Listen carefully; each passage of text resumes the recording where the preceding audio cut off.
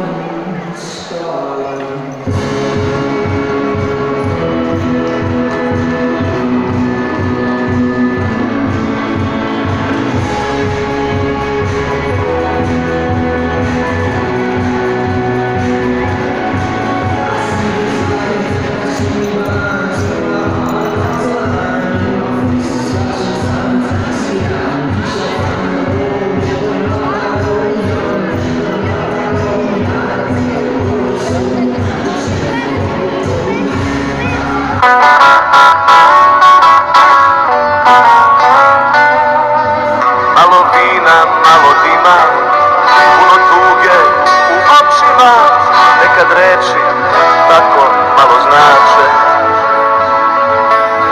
Sve je jasno ko na dlanu, sve reči u čašu stanu,